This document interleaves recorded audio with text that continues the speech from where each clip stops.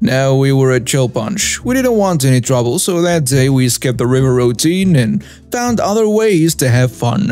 But that Karen, oh boy, she wasn't done with us. A week later, we decided to give the river another shot. Two of my buddies tripped down, ready to make a splash, the others getting pumped up when suddenly, like a wrathful ghost from the past, Karen reappeared. This is unacceptable. You're making too much noise. I won't stand for it.